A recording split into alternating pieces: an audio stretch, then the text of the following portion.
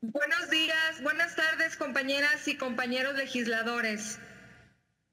Diversos organismos internacionales coinciden que el gasto en inversión física es fundamental para impulsar el desarrollo económico y reducir los niveles de desigualdad.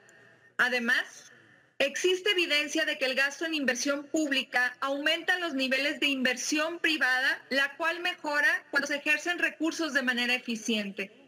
Pese a su importancia, en México el gasto en inversión pública presenta una caída del 39% desde el 2014. Es decir, al ejercerse un monto de 1.1 billones de pesos, en 2020 se gastaron solamente 0.6 billones de pesos.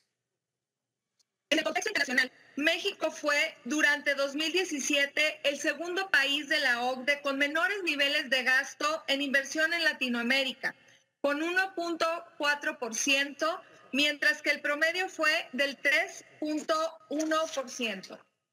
Por si fuera poco, dentro del proceso de contratación pública en México, persisten vicios que dificultan su eficacia, eficiencia y transparencia, ya que de acuerdo con la auditoría, Superior de la Federación, del 2011 al 2016, una problemática general en materia de obra pública existió debido a las siguientes causas. Planeación incompleta, falta de proyectos ejecutivos, retraso en la asignación y disponibilidad presupuestaria y sobrecostos y retrasos en la acción de trabajos terminados. En lo, que respecta a la presente Administración Pública Federal, la historia no ha sido diferente.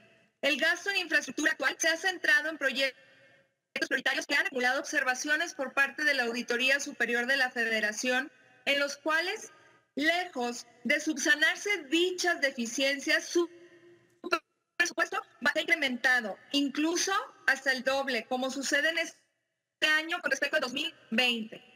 En el caso del tren Maya, se, encontró que carece de mecanismos para que permitan verificar sus avances, posible incremento de costos ante los retrasos en los estudios de preinversión y las modificaciones a los tramos de la obra, así como la falta de estudio de impacto ambiental.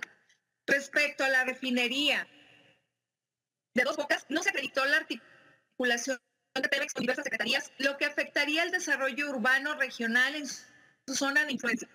No menos importante es el altísimo costo económico por la cancelación del nuevo aeropuerto de la Ciudad de México, con las consecuencias económicas que hoy todos conocemos, como la reducción de la inversión privada y la falta de confianza por parte de inversionistas.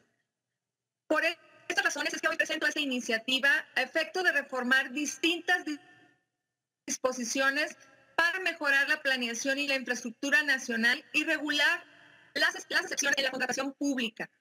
La presente reforma considera distintas propuestas formuladas por la Asociación México Evalúa, así como las recomendaciones de la Auditoría Superior de la Federación en su informe especial sobre obra pública, las cuales enlisto a continuación.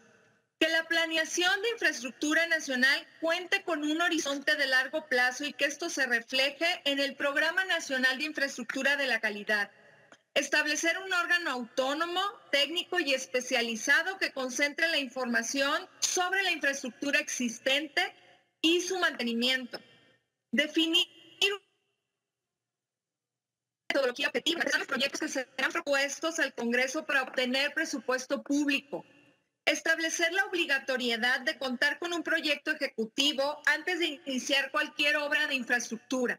Desde el Grupo Parlamentario de Movimiento Ciudadano estamos convencidos sobre la importancia de la aprobación de esta iniciativa a fin de que asegure la eficiencia, la eficacia y la transparencia en el desarrollo de la infraestructura pública, que no solo permita generar mayor valor social y económico a cambio de los recursos públicos invertidos, sino que además garantice condiciones mínimas de calidad y de seguridad a efecto de evitar tragedias como la ya ocurrida en la línea 12 del metro de la Ciudad de México.